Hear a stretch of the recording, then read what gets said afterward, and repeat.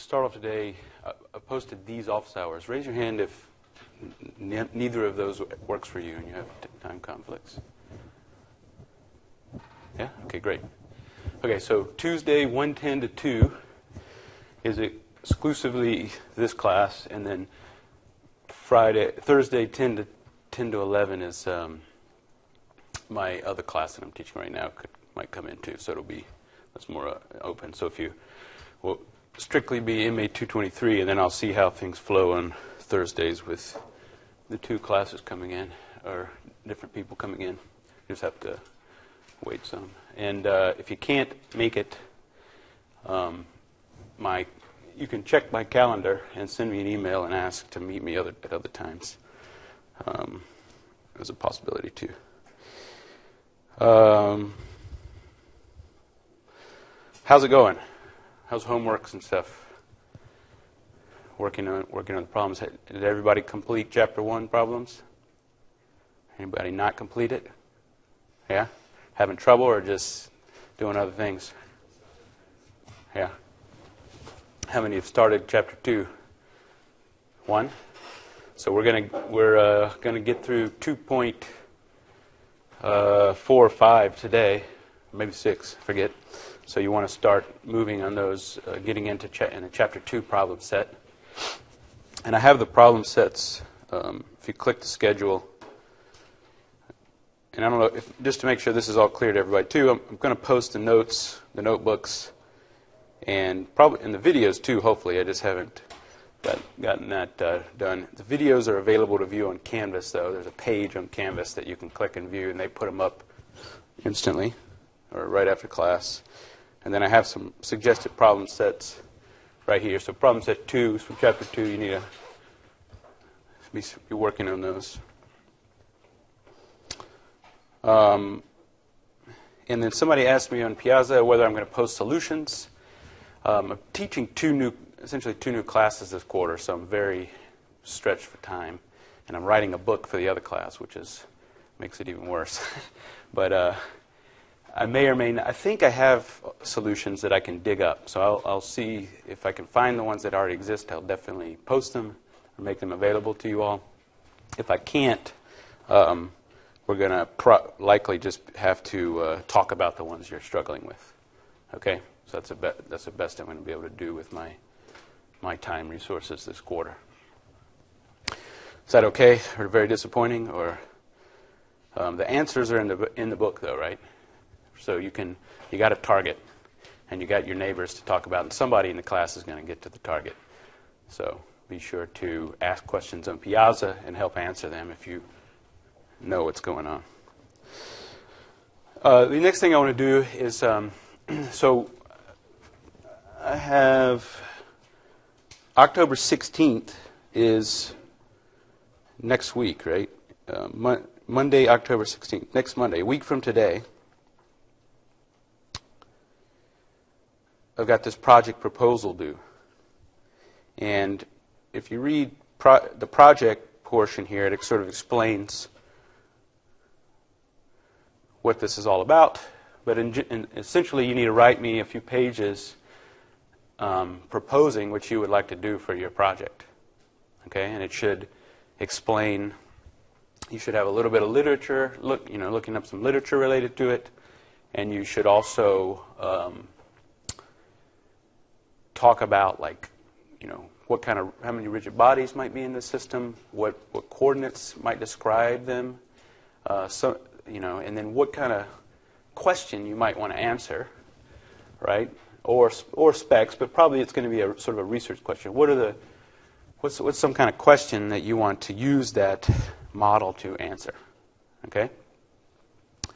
So that I have due next Monday.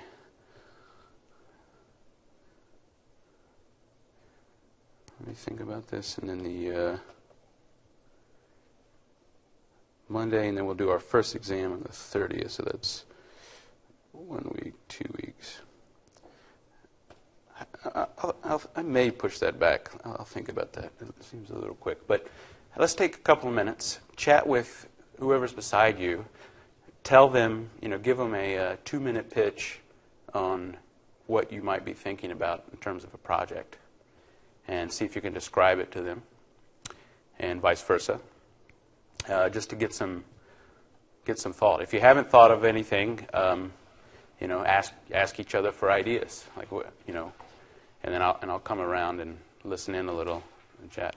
Okay, so take let's take uh, let's take about five to eight minutes or something, and uh, chat chat with your neighbor. And uh, do we have pairs? I think we got an odd odd number in here, so one group of three or something. Right? So scoot together, talk to your neighbors, meet them, tell them what you're thinking about. You might do.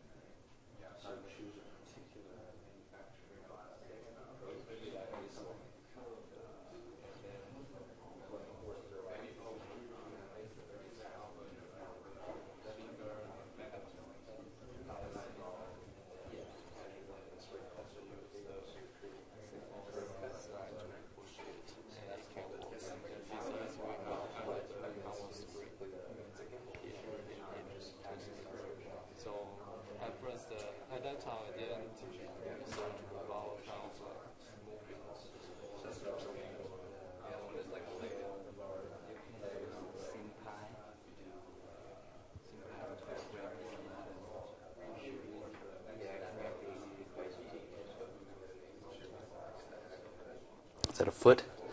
Yeah, it's ankle lower leg. Yeah. For a robot or a human or, a, or an animal? You know. So you want to do something with walking or Running or jumping. running or jumping? Cool. Yeah. I've got a good uh, long jump paper that I that came out this past year. It's pretty pretty nice.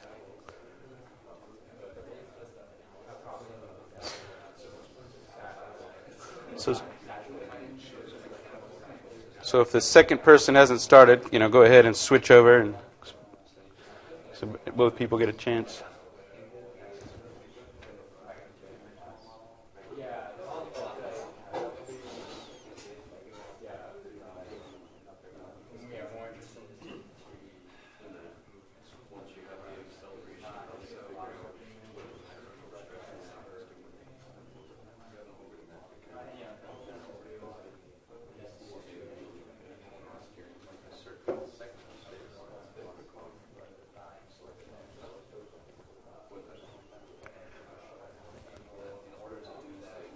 Guys thinking about?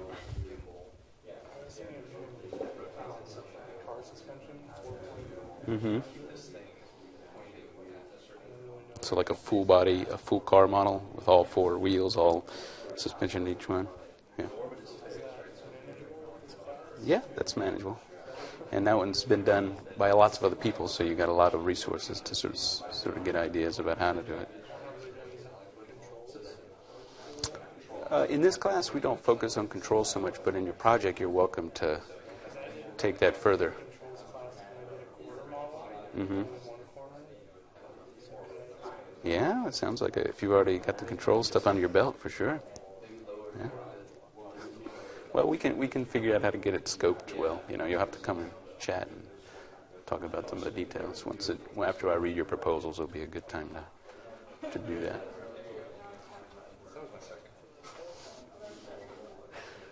And what is centrifugal G-force machines? Yeah. I say Oh, this is uh, centrifugal. I, I probably do too, but uh, I may say both. But uh, um, you know, we have one here on campus. You should model the one that exists on campus. So, out by the airport, there's the Geotechnical Center, and we have a centrifuge there that can get up to forget the G's on it. It's something like just an insane amount of G's, and they pack soil in it in these containers with all these sensors and um, simulate uh, earthquake and, and, and, seismic activity in the centrifuge. So they can get the G's up to.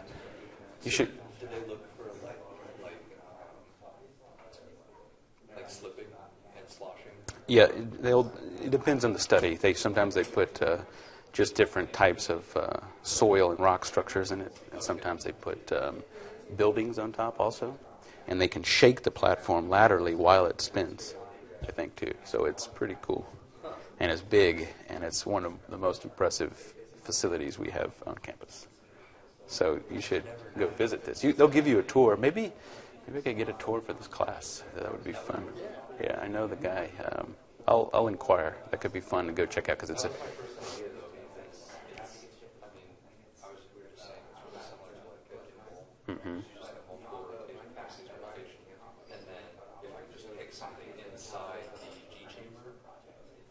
to do to analyze or think about.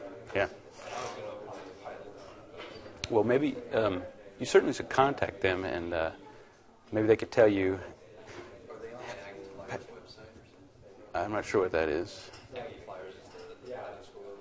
Oh no, it has nothing to do with the airport. It's just near it. Um, but it, if you just look up UC Davis geotechnical centrifuge, you know, you, I think you'll, you'll hit their website. But well, uh, I'll, I'll, maybe we can arrange something. We'll see. All right. Anybody want to tell me br- briefly what uh, what their neighbor said? What their neighbor's thinking about?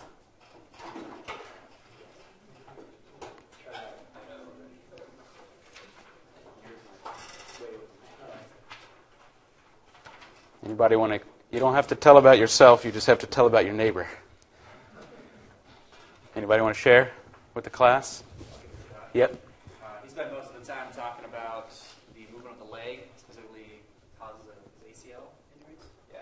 Um, uh, if you're running and you come to a sudden stop, there's a lot of forces and then Just do- Well, the, the one- Holly that's listening, she can't hear can't hear you guys speak. But basically looking at the dynamics of the leg and maybe how, she can at least. Okay, go ahead.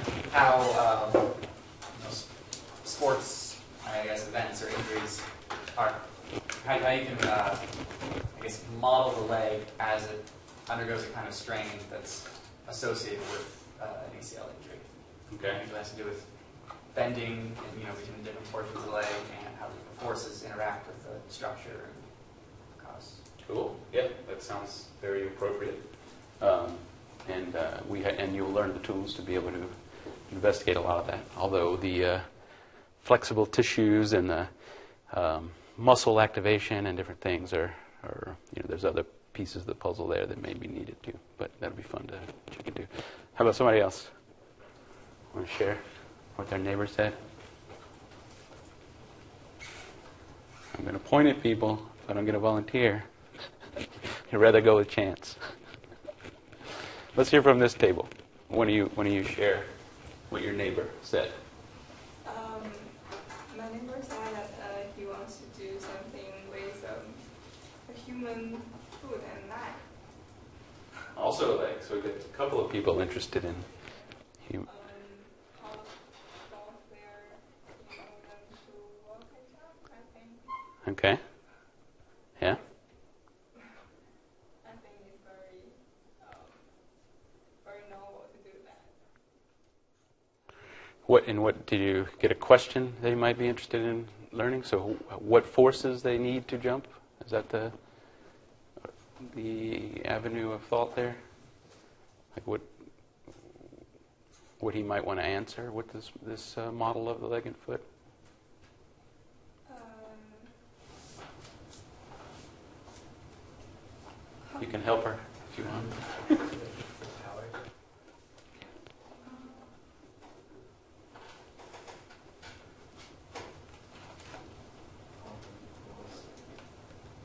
Was it PT?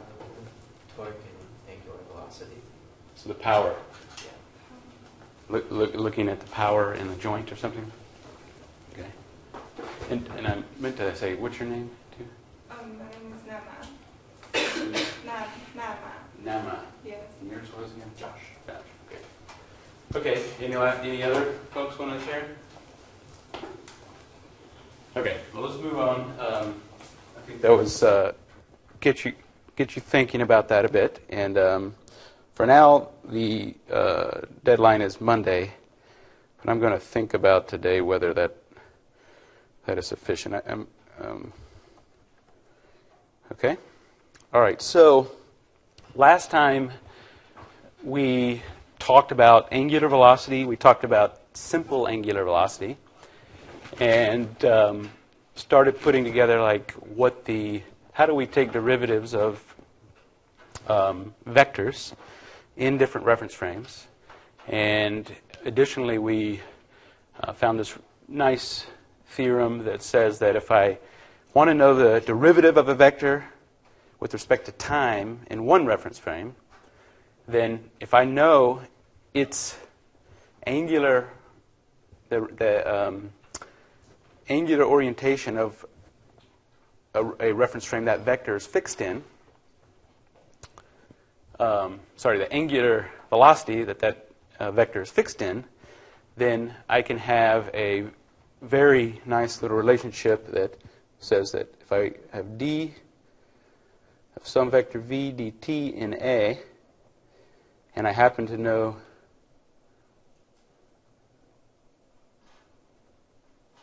its velocity in B, then all I have to do is add omega of B in A crossed with V. Right? This is a very useful theorem that we will continue to use here. Um, I want to start today with um, thinking a bit about. Let me do this on a different page here. Yes. That equation, similar to what we get with the DCM for like positional uh, transformations of, for vectors, Mm-hmm. can we also get a matrix similar for like polar velocity? A matrix? I'm not following completely there. So like, Oh. Yeah, go ahead. Say it again. you know what I mean? Like if we if we know the velocity, uh, like in one frame, can we have a matrix that just transforms that velocity from that frame to another? The um, let me think. This basically can this be expressed in uh, in terms of matrices? So each of the vectors that we have up there, v and omega, um, you could express them in a particular frame, and then they have three measure numbers, right? You can't put those three measure numbers in a vector. And I can, if I keep track of the frames, I can do I can do that cross product. So I'll get a cross product of two vectors here and then a vector here, it's still only a 3 by 1, both of those operations. So it's not, I don't think there's a transformation per se that you could, uh, I mean, to do that, to do the, to do the derivative, um, I don't, I don't think so. But uh, let me mull on that some more. Maybe, maybe there is. um, okay, so back to this new page here. So, if you recall, I, I wrote, um, I wrote Euler's equations.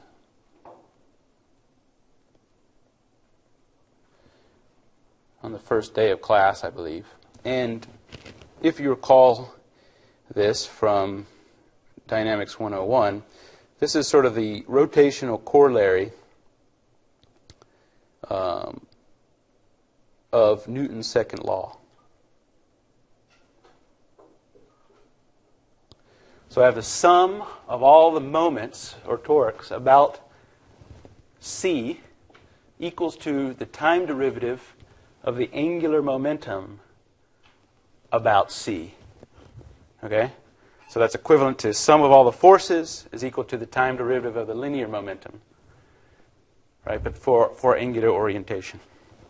And um, in general, hc, the angular momentum, is, I can make this bigger. Um, let me uh, say, too, that C here is going to stand for the central angular momentum.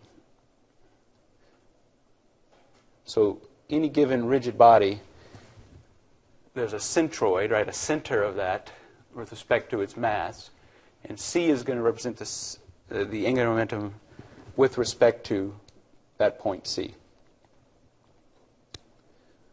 I guess for that to be correct. H of C is the central angular, angular momentum. And if um, the body in question is symmetric,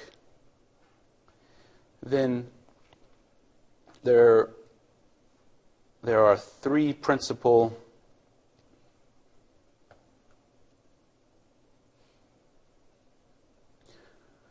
moments of inertia.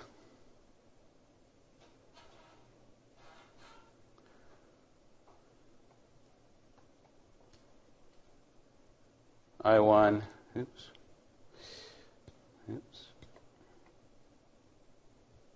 I need to put this tablet mode. I1, I2, and I3. All right?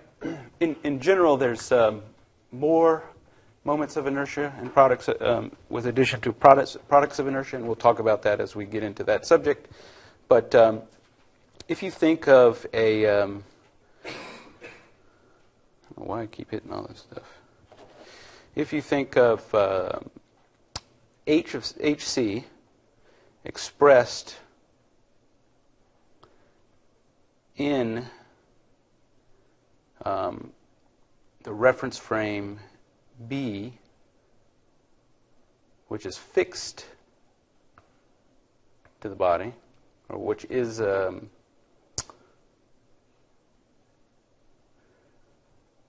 to rigid body B,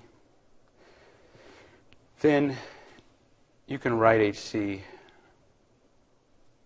Turns out that um, the uh, angular momentum looks a lot like this.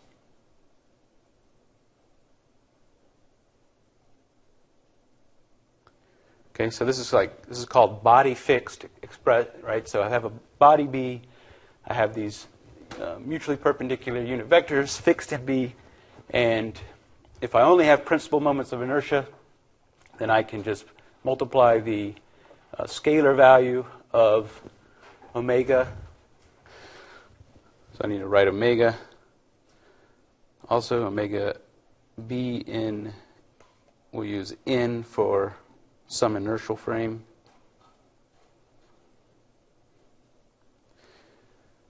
Is omega 1 b1 plus omega 2 b2 plus omega 3 b3.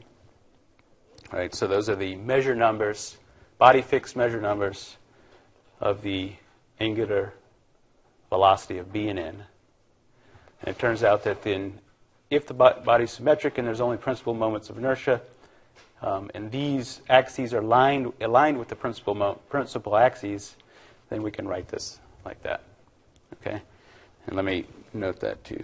B1, B2, and B3 um, are principal axes. Does everybody remember what moments of inertia are and the, what principal axes are?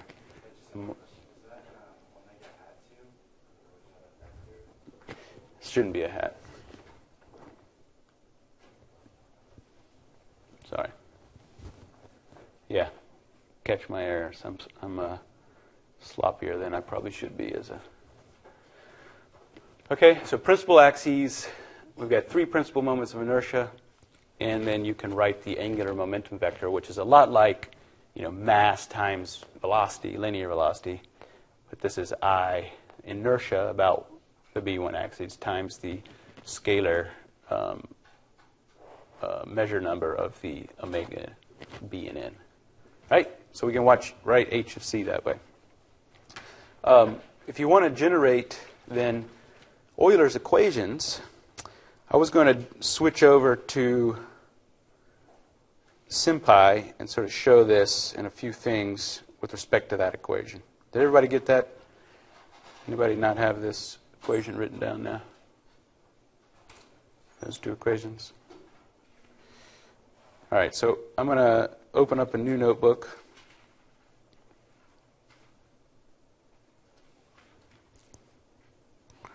And I'm going to do my standard here.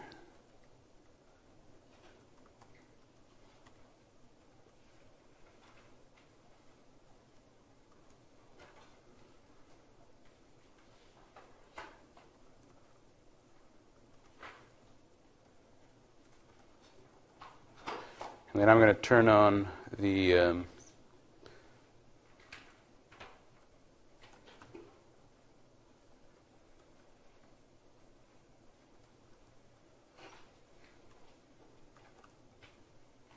printing. That all should work. And then let's get some scalar values here. Um, I'm going to call, I'm going to say I1, I2, and I3 equals I1, I2, I3 equals, these are, these are just um, constant values, so we can use symbols. And I'll show you a shorthand here. If I do 1 to 4, and the reason it's 4 is because uh, in Python this, this notation doesn't, um, isn't inclusive, right? Then I can generate I1, I2, and I3.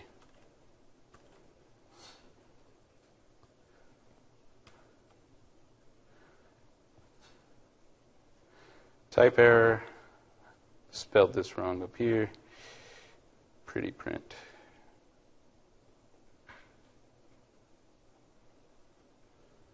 Okay, right. I1, I1, 2, I2, and I3. But omega right? They, it does vary with time. So here I'll do W1, W2, W3 equals ME dot dynamic symbols.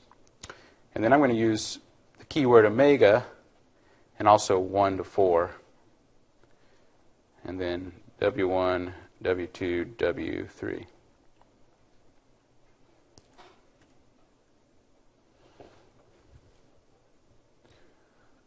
And um, that should have rendered as the proper symbol. Why didn't it?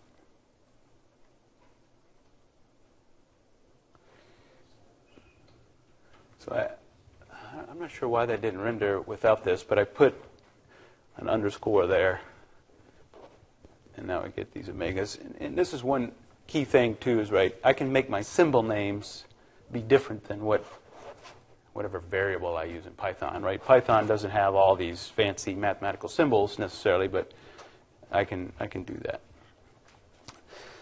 So now um, we could create some of these vectors.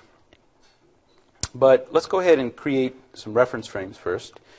So in is going to be this inertial frame.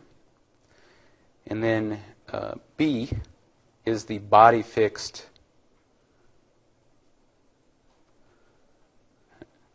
frame. So we'll call this the body fixed reference frame and the inertial reference frame, right? Something that's fixed to, um, you know, Earth that's not, not moving, and B is, is moving in it with this angular velocity vector. So I'm going to show first, remember that we did this orient command. So I could orient B with respect to n through a simple rotation about an axis through some variable. And I'm just going to pick one of these. And then the axis I'll pick as uh, n dot x. And then it automatically creates this direction cosine matrix. And then, if you look, there is a ang vel in method here. Get rid of some of this.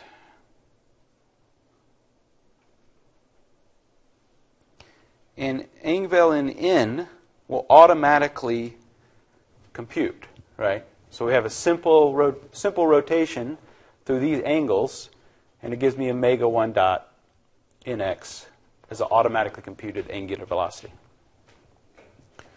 And here, if you want to use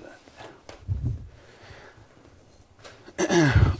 but um, we don't always know what the orientation is or even care. Um, but it will compute, you know, for any kind of orientation you set up, it will automatically compute that angular velocity. But in this case, I don't want to do that, right? Uh, my problem statement didn't really have anything to do with any orientations. So I'm going to just, uh, let's just recreate these reference frames again.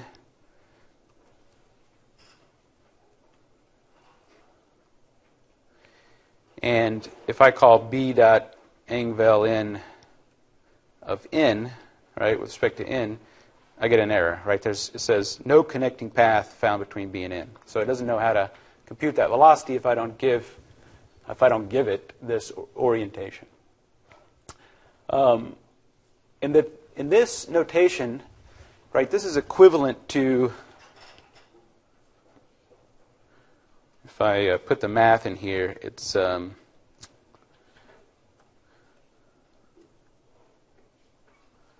and I've been using bar, not bore, bar.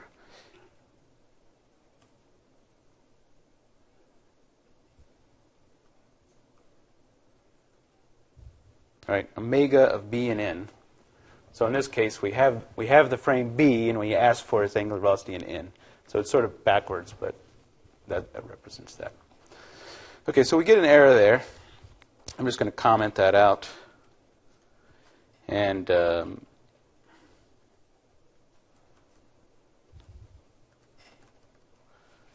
no direction cosine matrix. But there's also a um, b dot set angular velocity. So I can ex- just explicitly set this if I want. If I don't know what the orientation is, but I do know what the angular velocity, it takes some frame, right, that I want to say that there has a velocity in, and then I give it a value, and that value is a vector. So if I want to set the body fixed angular orientation, you can check out the help there um, then I can just do b dot set angular velocity in n, right, is going to be this thing, oh, w1 times b dot x, right? It's body fixed. We're expressing it in the frame that's fixed to b.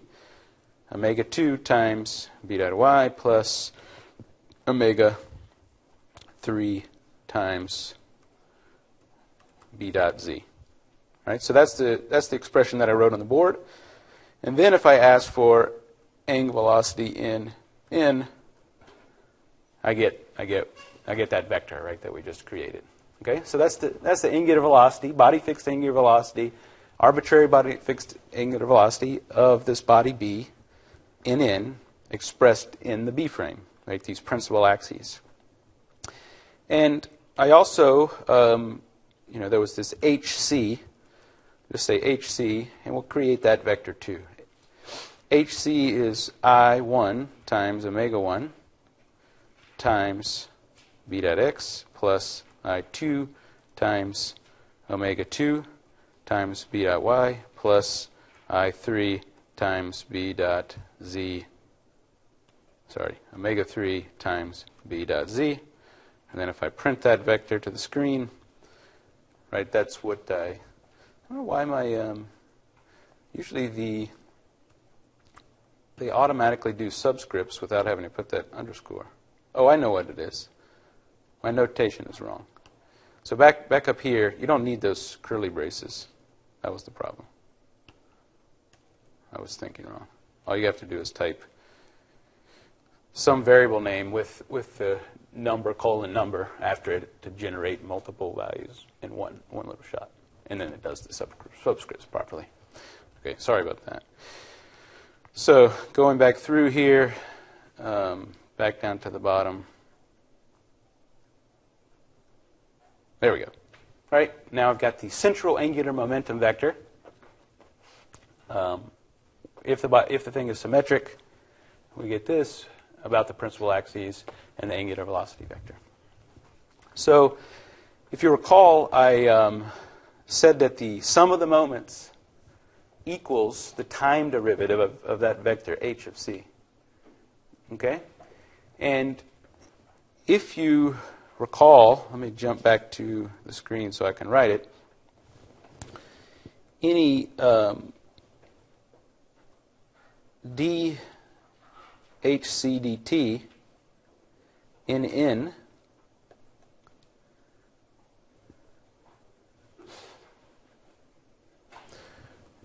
what's how can I write this in terms of uh, the formula, that theorem that I showed you that related the angular velocity of a body B to the differentiation of a vector that's in in that expressed in body B.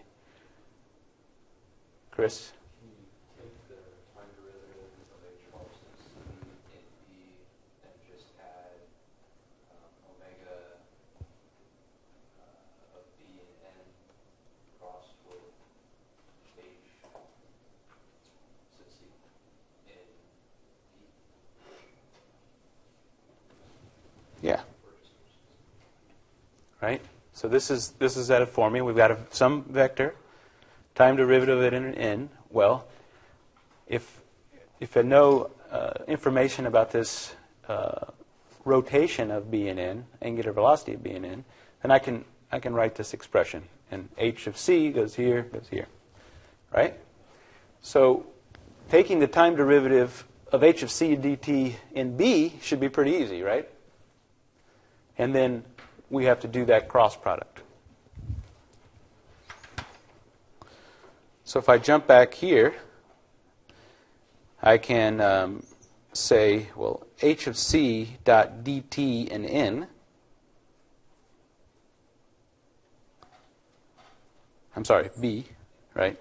h of c dot dt in b, right? It, it's just this, you know, all I have to do is differentiate each scalar with respect to time. So I get omega 1 dot omega 2 dot, omega 3 dot. And then that cross product term, uh, we had we have omega of b in n, right? That's that vector. And then I'll just use the function here, me dot cross, right? Two vectors. So we cross this vector with h of c, which we defined, and it, it does that cross product for us right? And so I get these, uh, something expressed in a body fixed frame, but with these more complex measure numbers, which result from the cross product of h of c and omega of b and n. So if I want to put things all together here, um, I could say something like uh, has a, a little way you can sort of write equations. Um, if I do sm dot matrix, uh, no, what do I want? I want uh, just a symbol, and I'll call it mc comma, and then I put this expression, hc dot dt of b.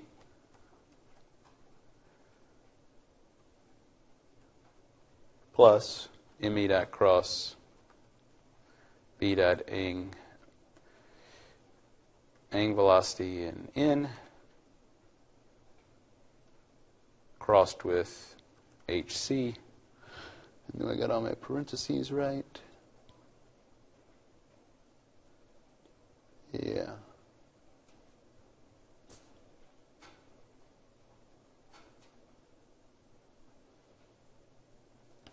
Let's just take away that stuff first, make sure this works. So that works. I think it didn't like, yeah, the, the thing I just tried may not work. But, anyways, that, that's, that's now equal to the sum of the moments about the centro- centroid. This, all right, so that's, that's our vector. And notice that um, I'll call this, let me just copy it. Oops.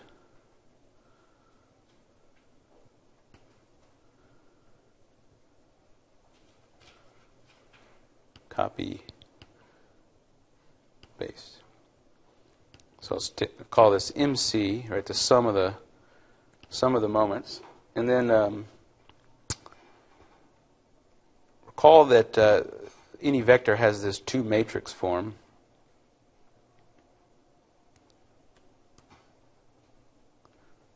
And I can sort of get the vec- sort of a vector expression here of just the measure numbers. So we've got I1 omega 1 dot, I2 omega 1 dot, I3 omega 1 dot, and then these um, other terms that sort of follow this pattern. It's I3 minus I2 times omega 2, omega 3, etc. And these, these are Euler's equations, right? So now I'm going to add uh, to that sm.eq so it sort of looks correctly. And then I can do sm.matrix, and then I'll do um, I'll do sm.symbols m 1 to 4.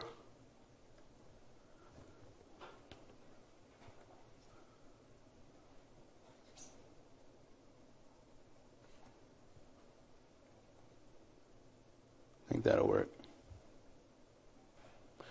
Missing a parenthesis.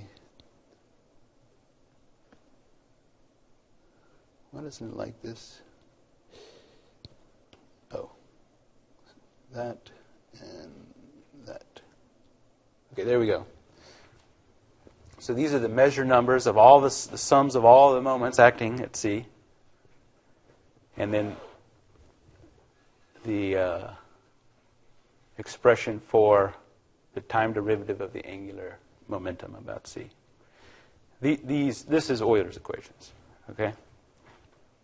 So that, um, just note that there.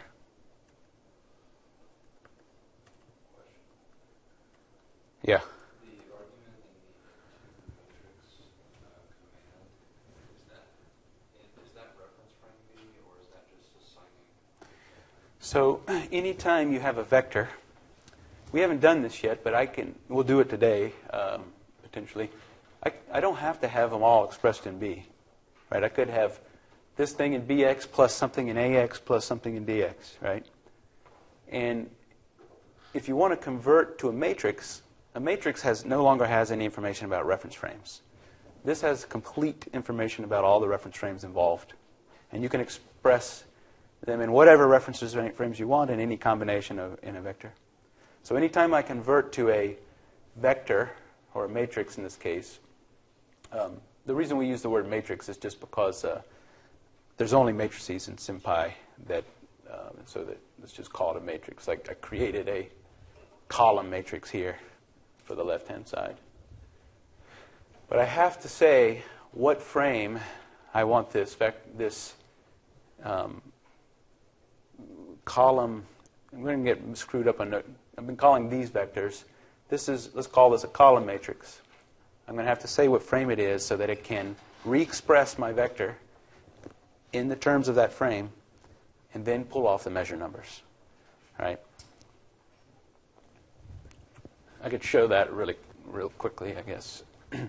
For example, I could write, say I write some vector v equals omega 1 times n dot x plus omega 2 times b dot y. Right, I can write a vector like that too. And then I would have to use v dot express in B if I wanted it all in B, or, or in if I wanted it all in N. And then I could pull off the three measure numbers and populate some kind of column, column matrix. This won't work right now, though. Does anybody know why that would throw an error?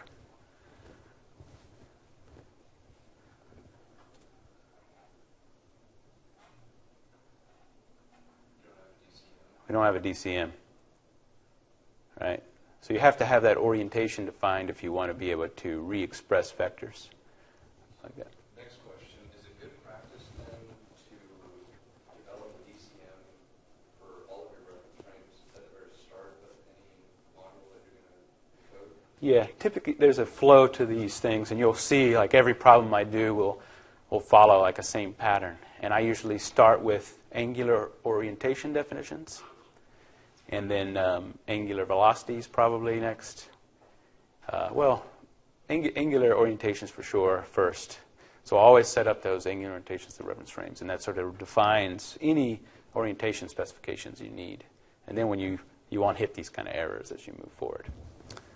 So I usually do that, and uh, when we get to sort of full problems, you'll see the pattern that I follow, and, there, and there's there's an order that uh, I mean you could do it all mixed up as long as it's inherently ordered, but I usually do um, angular stuff, uh, orientation and velocities, and then linear positions and velocities, and then I uh, move on. to, Then I do constraints, and then I do, um, and then I move on to defining inertias and, and masses, and then forces and torques, and then finally you got all the pieces of the puzzle to get the equations of motion, and uh, and so we we're we're going to move into linear stuff, linear positions and things today, and um, to add another step to that. And, and it'll basically the order that we we learn the things, we'll, fo- we'll follow them.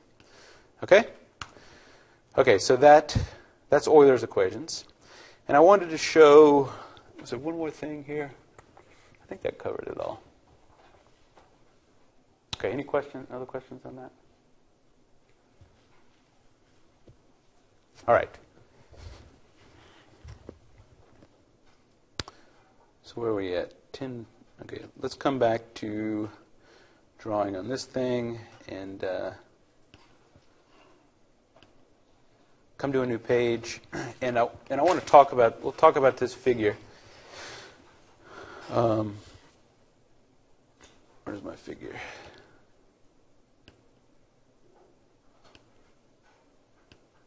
This one. Figure 2.41 in the book.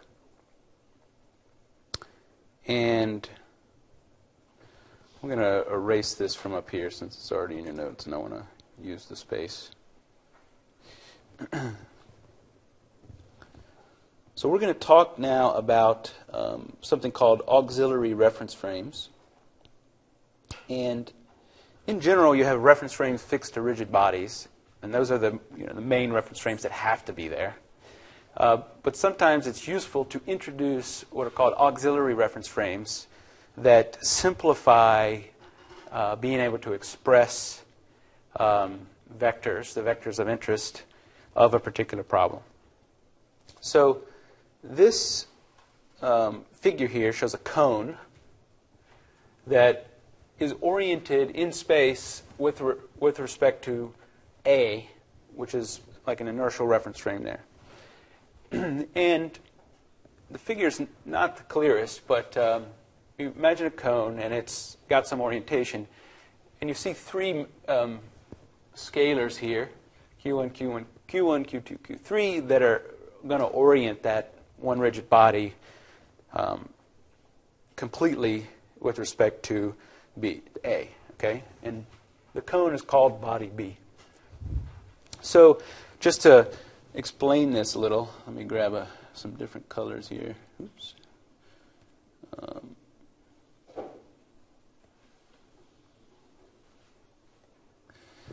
so, the first rotation, if we look at reference frame A, um, this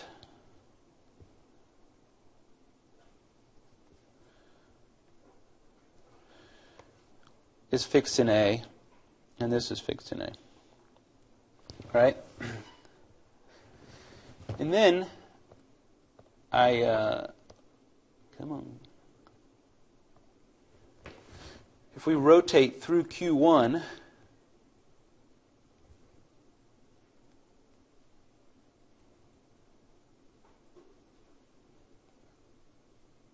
going to call this reference frame A1 a new auxiliary reference frame that uh, is rotated through Q1 with respect to A. Okay? So that's the first, first rotation. And then um, the next angle, Q2, is this angle with respect to um, this vertical, the, the vertical line L2 to this vertical to this line L3. And L3 goes down the, the axis of symmetry of the cone. Okay, so L3 is the axis of symmetry of the cone. And you know, it's it's more or less you know, goes through the cone and out the other end. Right? So that's the uh, axis of symmetry of the cone. And we could define then a new reference frame here, and I'll sort of give it a unit vector uh, there, and then a unit vector here. And it would have the third one sort of pointing out like this a little bit. Right? So this we'll call A2. Right? And that, I now rotate about this unit vector K7 through Q2, right, right hand rule about K7 through Q2, and puts the angle relative to that. Okay? And then the, ver- and then the last one is um, Get a new color here, purple. The last one is body B. Right. so if I rotate through Q3 rel- relative to that line L5, then I get um,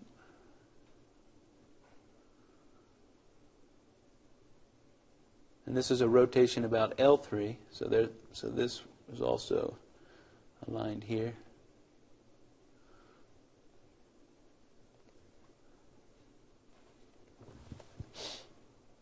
And then we'd see another one pop out here somewhere. So the purple is fixed to B. Right? Does anybody have any questions about how that works? Right? So we rotate about K2 through Q1. And we got an auxiliary reference frame A1. And then we rotate about K7 through Q2 to get this new reference frame um, A2.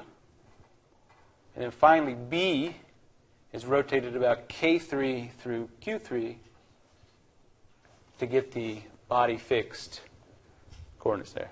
Any questions? Everybody see that? Is that clear? So what we've done is introduced A1 and A2 here. And they're going to help us out. Um, figuring out what the angular velocity of B is, is with respect to A. So what time we got? 10:55. Let's we'll hold it there. Take five minutes. Get a sip of water, stretch, and um, think about that drawing, and then and then we'll move on. Um, K vectors. We're going to we'll call them your unit vectors aligned with those particular lines, right? And this is. Uh,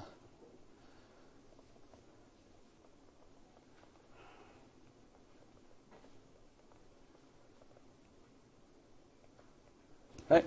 Okay, so now we have that, that, that figure down, Pat. Um, this idea of auxiliary reference frames is quite useful um, with respect to, just underline that, with respect to angular velocity. So, just as a formal definition here, reference frames.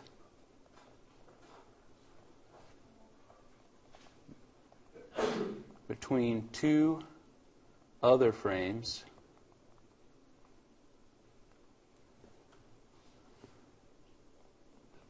Whose orientation.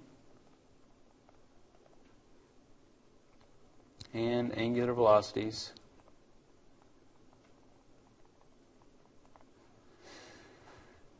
um, reference frames between two other frames whose orientation and angular velocities we want.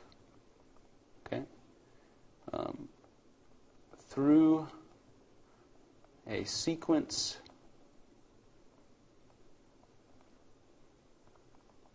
of simple rotations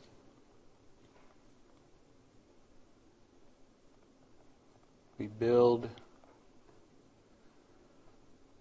or create the angular velocity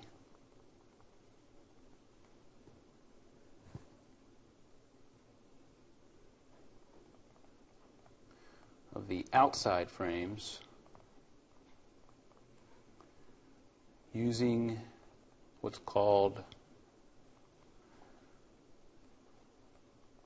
the addition theorem.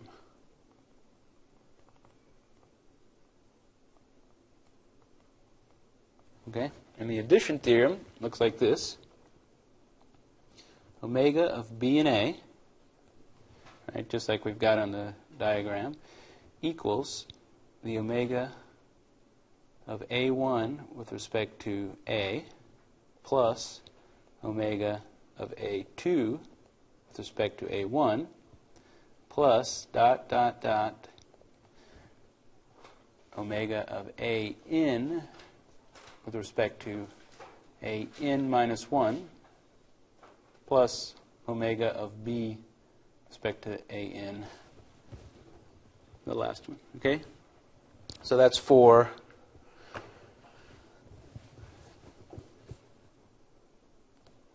in um, auxiliary reference frames.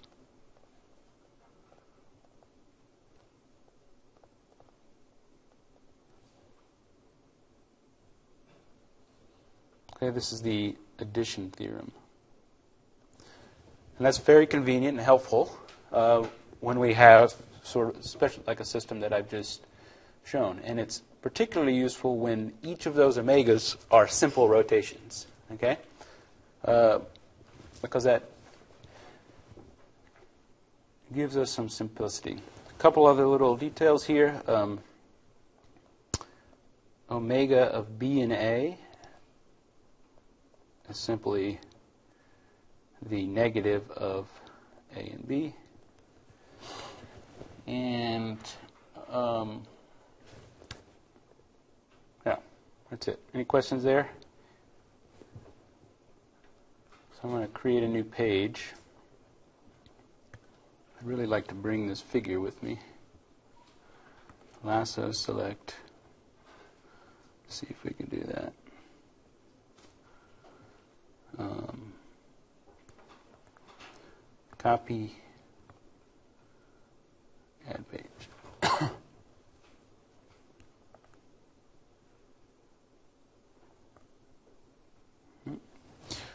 Didn't get everything.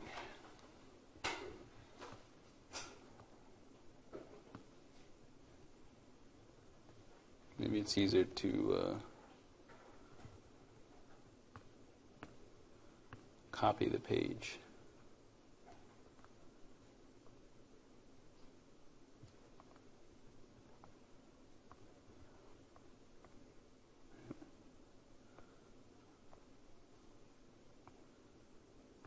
This is the one I want. Copy that one. Now, paste. All right. And erase all this.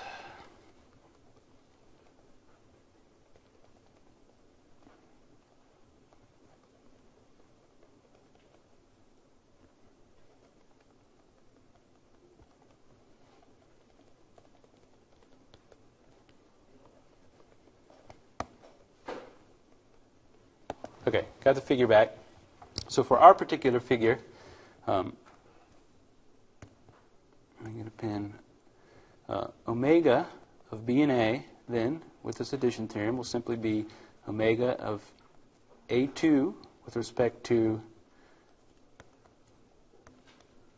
a1 with respect to a, right, plus omega of a2 with respect to a1 plus omega of b with respect to a2.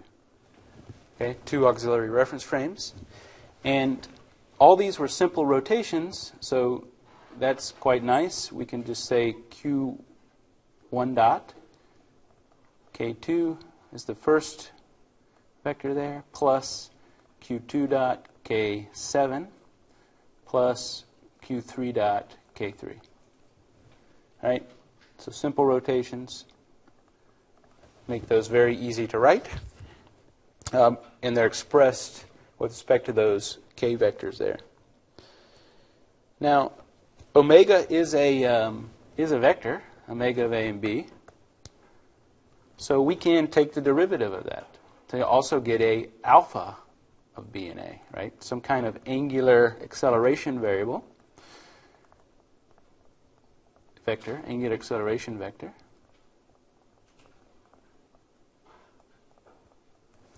And alpha of b and a equals the time derivative in a of omega of b and a. Right? That's the definition.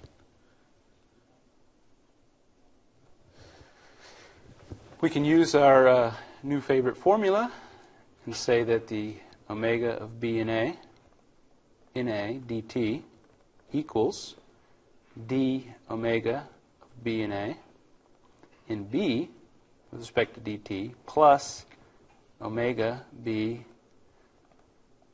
crossed with what?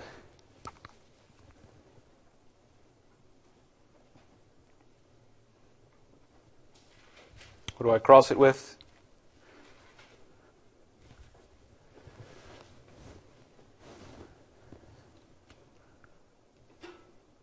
Same thing we did with the angular momentum vector, h.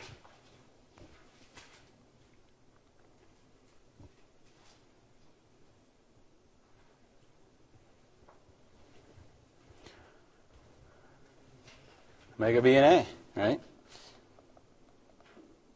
Right, so it's that's the vector. Now what's omega B and A cross omega B and A?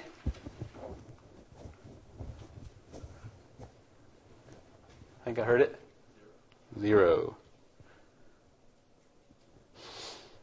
So this is true. The time derivative of omega B and A in A equals the time derivative of b and a in b. All right, so that's very useful. Um, so that's all you have to do to get the angular acceleration. Right? So all this is equal to alpha of b in a. So thinking about the cone here, um,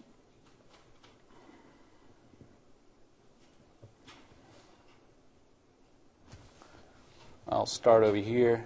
The uh, alpha of b in a equals the time derivative in a dt of our q1 dot k2 dot k2 hat plus q2 dot k7 hat plus q3 dot k3 hat. And if we expand that, I do have some room here. If we expand that out, we're going to get um, using our right both both of these things change in time. All all six of these terms, the vectors and the scalars. So we've got to use the product, product rule. We'll get q1 double dot k2 plus q1 dot time derivative of uh, k2 hat in A plus q2 double dot k7 q2 dot dk7 adt plus q3 double dot k3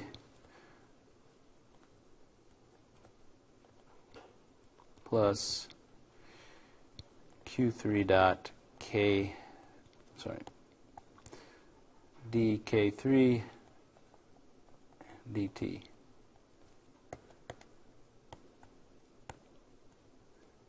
in A. Right? So that's the product rule. Expands that. So we got all these terms, no parenthesis there, to deal with.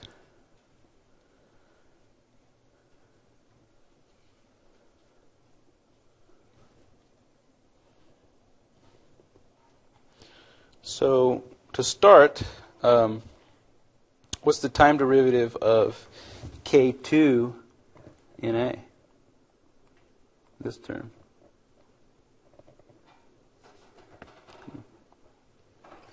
Jesus Christ.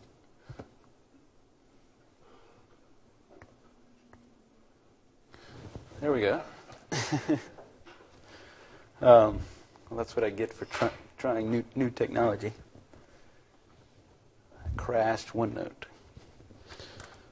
Let's see if it anything is there. If I close it, will it even close? Come on.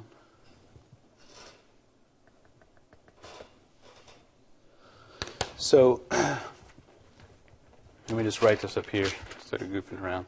So we had uh, that alpha of b in A equals um, this big thing, Q1 double dot K2 hat plus Q1 dot D A K2 dt plus Q double dot K7 plus uh, Q2 dot dA K2, sorry, K7 dt plus uh, Q3 double dot K3 plus Q3 dot dK3 dt. So what was, what's that? The time derivative of k2 in A. Let me, and I'll try to open this. Uh, we'll do my favorite solution in Windows. Um, I could probably switch to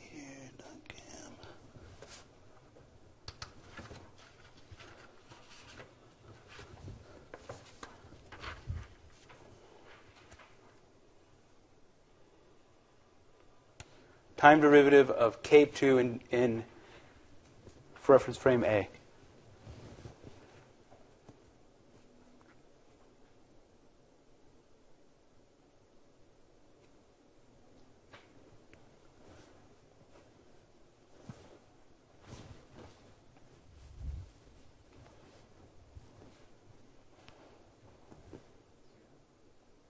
You asking?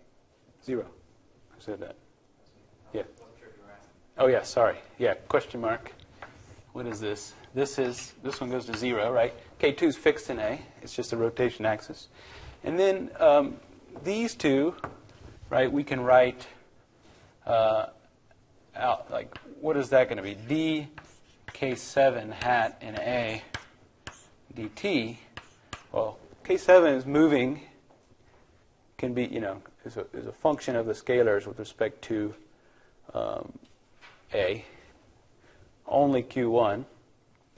But uh, if you recall, right, this equals to omega of B and A crossed with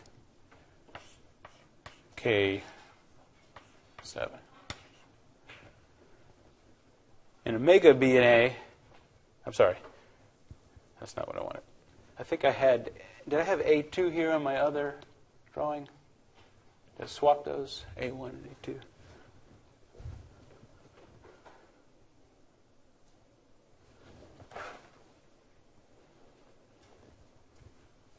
Um, I want to say uh, A1 in A with respect to that figure there. Right? And then omega of A1 and A is this simple uh, Q1 dot K2 cross now with K7.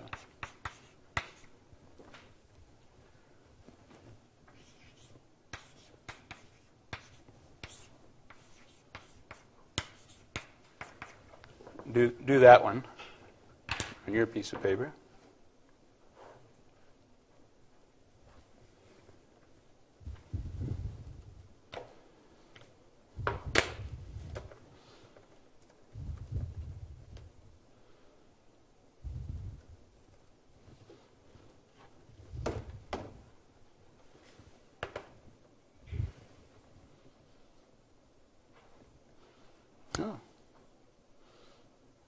Think it deleted everything. Somebody want to tell me what that one is? Chris? Cross product? Omega A1 of A cross with omega A2 in C and A1 cross with Cross with what? parentheses, omega and A2 in, omega of A2 in cross with G.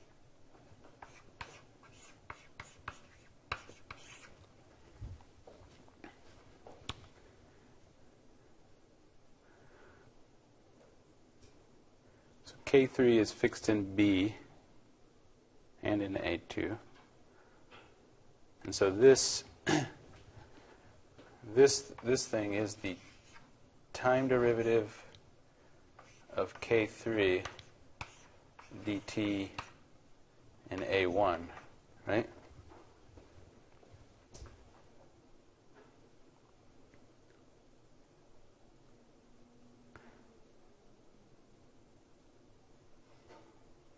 And that, uh,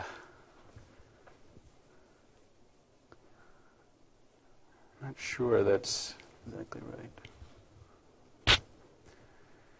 If you think about that, uh, K3 is fixed in A2 and B and B. Um, then the time derivative of uh, K3 can be written like let's we'll see if this works out. I'll it like I did it. A K3 dt omega of B and A crossed with K3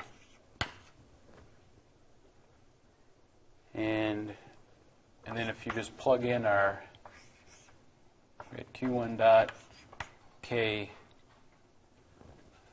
two uh, K2 plus Q2 dot K7 plus Q3 dot K3. Right, all of that crossed with K3. K3 crossed with K3, those are going to go, that one's going to go away. And then we only have to write out the first here, so Q1 dot Q2 crossed with K3 plus Q2 dot K7 crossed with K3. And then if we write out yours, we get um, omega of A1 and A is Q1 dot K2 crossed with A2 and A1 is uh, Q2 dot K um, Q2 dot K7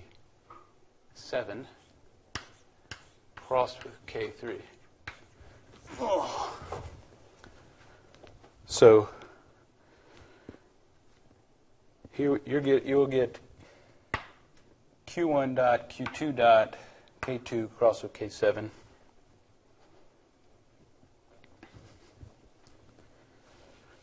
Which is an extra term in yours, I think. Is that right?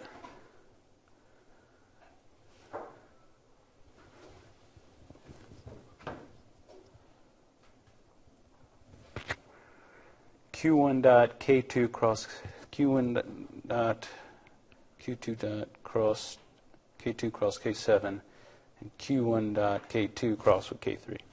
So you've got this term, but you're I think you're adding an extra. Yeah, I don't think that's quite right. We're, you're going to examine that later, but this is that this is that der- that derivative, right? So we knew what omega a, b and a was, and k. We can write that out. All right, I'm going to come. Where are we at? 11:25. Let's come back to the laptop. It's now fired up again.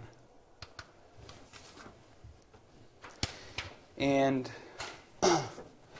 uh, we've got this.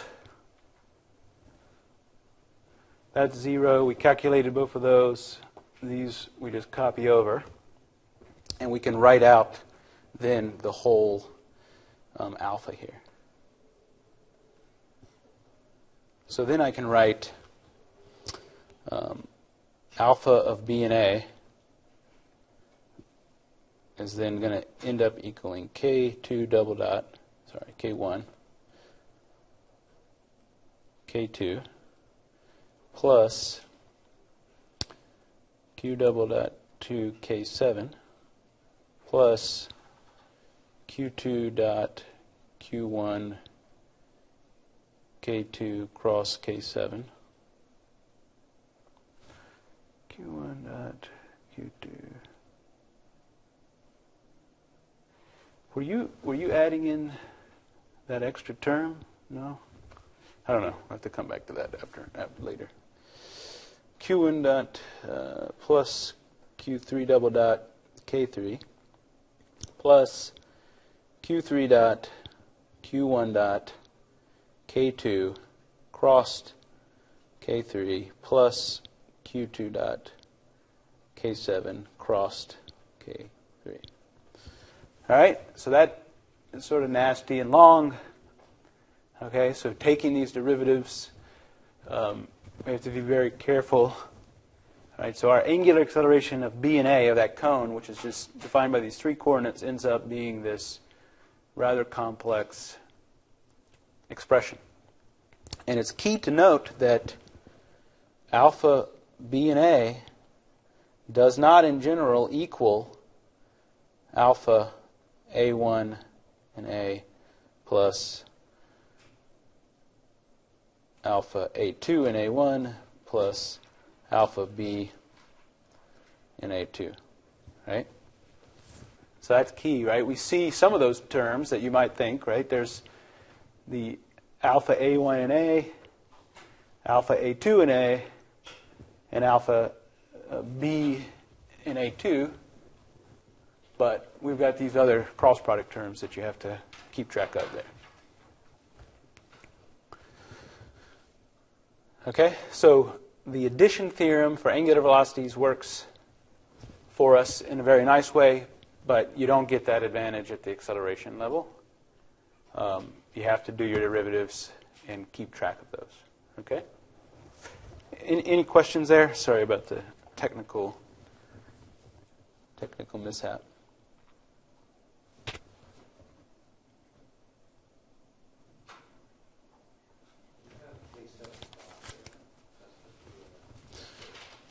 Supposed to be a hat. Yeah, I'm. I'm uh,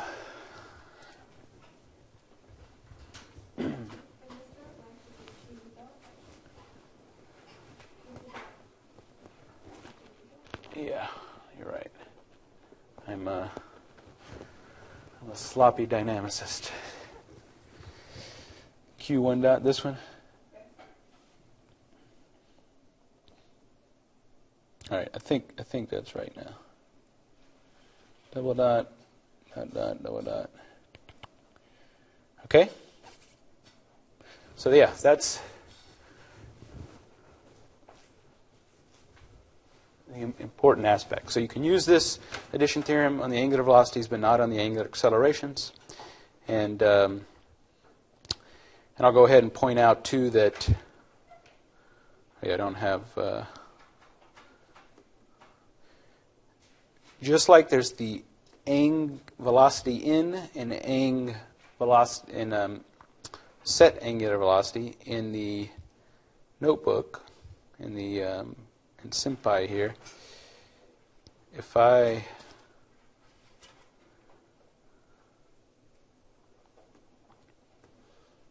if I do, we had um, b dot ang xl in in,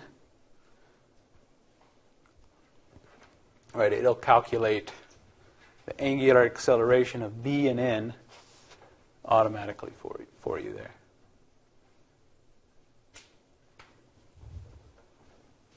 And you can you can also set that to some specific specific thing too. Set angular acceleration of the frame in some specific vector if you, if you need to set it explicitly. Right. So those those are the corollaries there. Now, so we, so now we know about angular velocities of two of reference frames and angular accelerations and how to take derivatives of these angular velocity vectors to get the angular acceleration.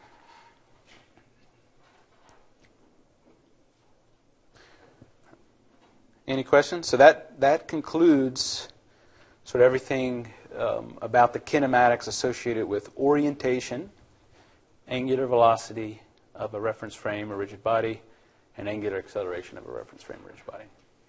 And we don't need anything beyond angular acceleration because uh, of Euler's equations and Newton's second law. Okay, so that's the far, farthest derivative that you have to take to, to form those equations, but uh, there are use, uses for higher derivatives of these things too, which would follow the same, same pattern and rules. Questions? So we got 20 more minutes. Let's uh, get started into now linear And I'll, I'll go ahead and start a new page. So now, um,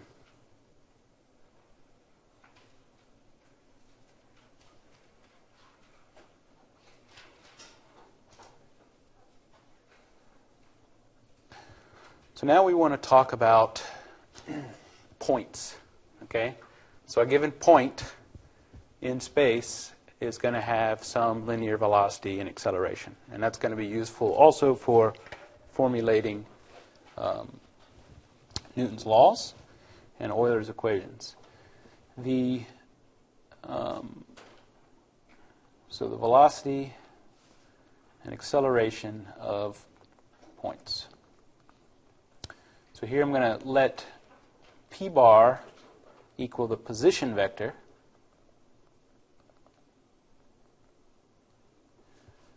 From any point O fixed in reference frame A to a point P moving in A. Okay, so point P is moving in A. And then the position vector I'm going to define as um, a vector from some other point O that's fixed in A to the point P. And then we can define the velocity vector of P, point P, in reference frame A as the time derivative of the vector P bar in A. And then also the acceleration of point P in A equals the time derivative of the velocity of P in A in A.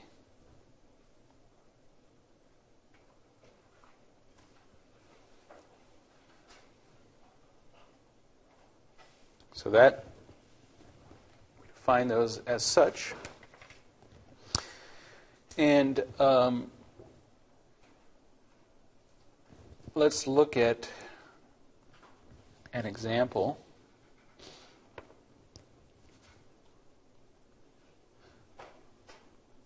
Go ahead and go to a new page. Insert picture.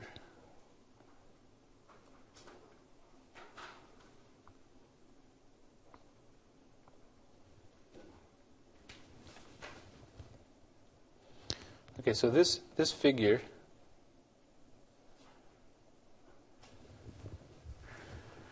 has a plane, right? We have reference frame A, which is the sort of background, and then we have this body B, this plane that is rotated through omega t. So this is an angle, omega t, implying that it's a constant angular rotation. My shoe will not stay tied.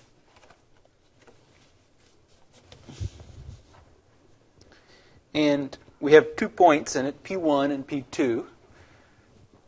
Right, P1 and P2 are moving, are in that plane. And then we have a point O here that's fixed in A at this position, right? And this is BX, BY, BZ. So, with this figure in mind, then let's write, um, first of all, the position vector of P1 um, with respect to O. We'll call that um,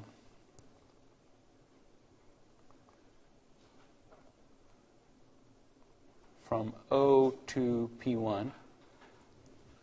And I'll also mention that um, you'll see this notation too, um, a position vector R of P1 with respect to O.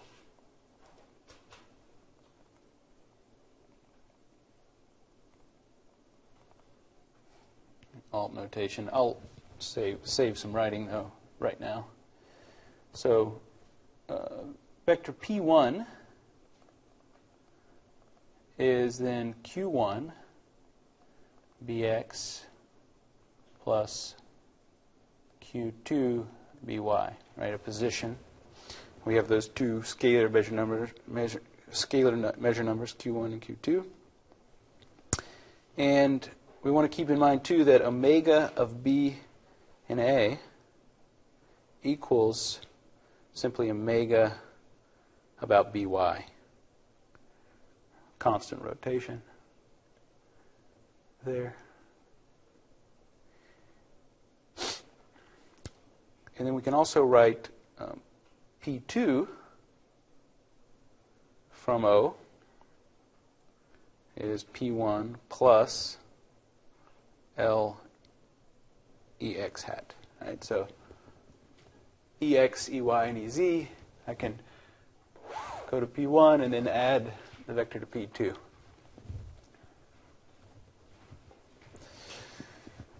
And there's a relationship between the E's and the B's. So BX equals EX. I'll uh, use shorthand notation here. C3 minus EY S3. BY equals EX S3 plus EY C3 cosine of 3. Right? We just have a simple rotation about BZ equals EZ. Right there. So you could then express, um, you know, P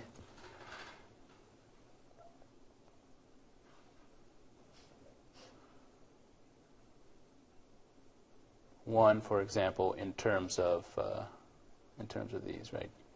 Q1 bx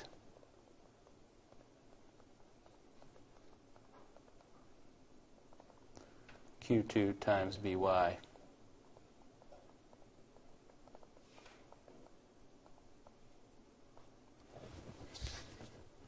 Okay. Now let's uh, take let's take some derivatives. Um, if I want to know then the velocity of p1 in a, right? Remember, it's the time derivative of this vector p1 in a, and then you can write that, though, as um, dp1 and b dt plus omega of b and a crossed p1. What's the time derivative of p1 with respect to dt, I mean, with respect to time, time derivative of p1 with, uh, with respect to the b frame, this first term?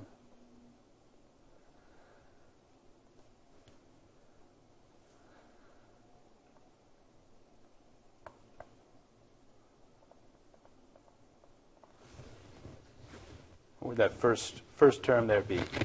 Time derivative of p1, the vector p1, which should add that to the drawing. More explicitly.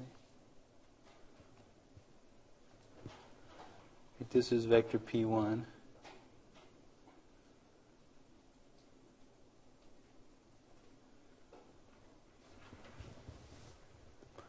What's the time derivative of p1 in, in reference frame B?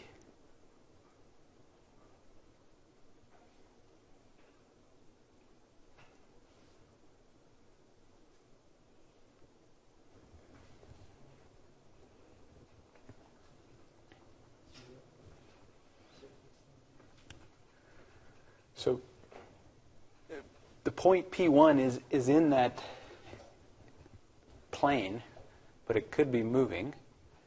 Um, Q1 and Q2 can change with time.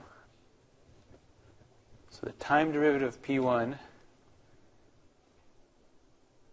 in the B frame. So if I'm standing in the B frame and looking at P1, standing on O, right, on the B frame, looking at P1, how could, what, what's, uh, we have P1 already written in the B frame up here.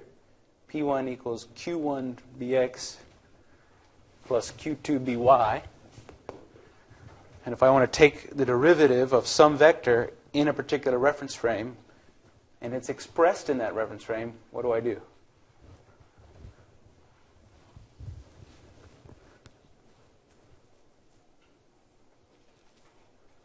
Everybody's ready to leave.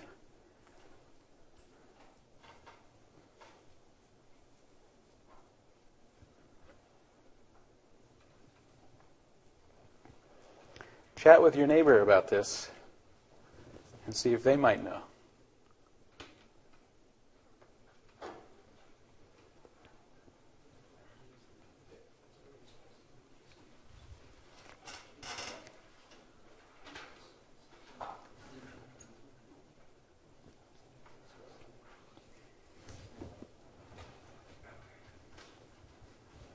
Not hearing any chatting, or very little of it.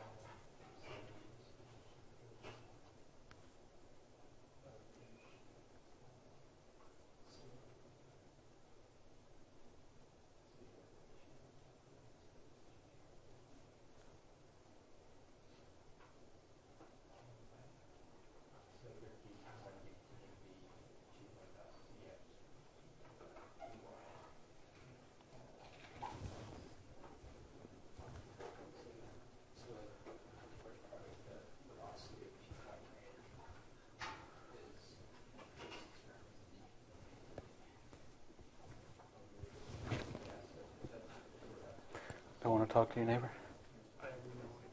No idea. Do you recall how to take a derivative of a vector? Chain rule? Chain rule is if you have um, sort of a function of a, if you had, yeah, cha- chain rule could be applied. Right, the terms would fall out because the unit vector would be zero. You go through. What is the time derivative of bx in b? Zero. Times just have the time derivative of Q1 dx plus the time derivative of Q2 dy, right? I think so. Yep. So if you were to apply the chain rule and did, you know, you'd have q1 dot times bx plus q1 times bx dot. But what's bx dot in b? Time derivative of bx. If I'm standing in b looking at the unit vector bx, does it change in time? No. So that'd be zero. Anybody got an answer here?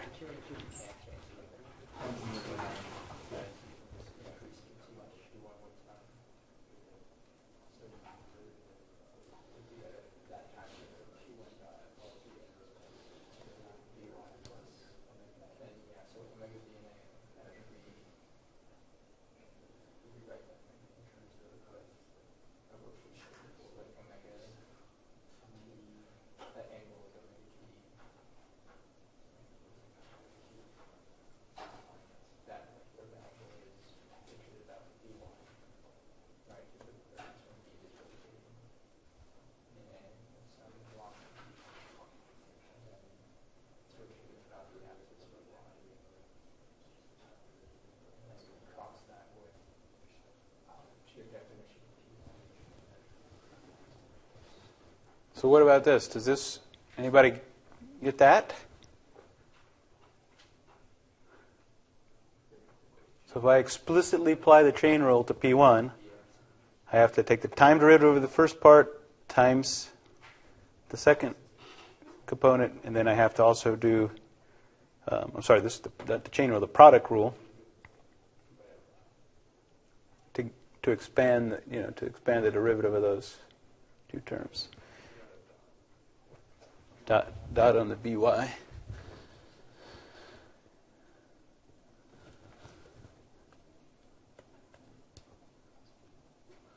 Got a number of things, right? Okay, so that.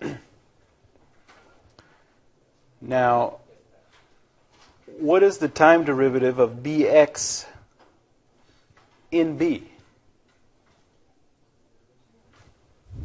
So that term is 0. What's the time derivative of by in b? All right? So that's all that we're left with. And if you recall, the definition of taking a time derivative of a vector, if that vector is expressed in the frame that I want the, the uh, time derivative in, all I have to do is dot the measure numbers. Okay? So all I have to do is just dot the measure numbers. Q1 dot, Q2 dot.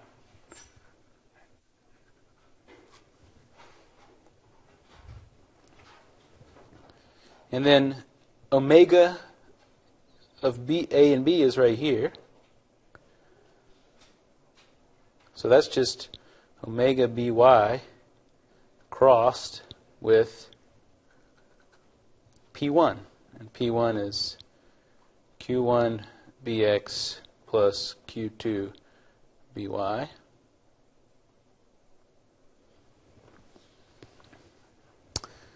By crossed with by is what? Speak up. Zero. So I only have to do this first bit right there. And then if I look at x crossed into y, so bx, the right hand rule, crossed into by is what? bz. So this is just going to be omega q1 bz. Right? So that's the velocity of p1 in A. We used our faithful, faithful theorem here. Took that simple time derivative of p1 and b. Got these two terms, and then did our cross product, which is pretty simple. So if you think about this, right, if this thing is rotating, um, this frame B, the velocity vector of that point is always going to be just pointing per, uh, perpendicular to the plane, normal to the plane. There. So it's rotating around that plane. That velocity vector is going to always be perpendicular. So be something like this.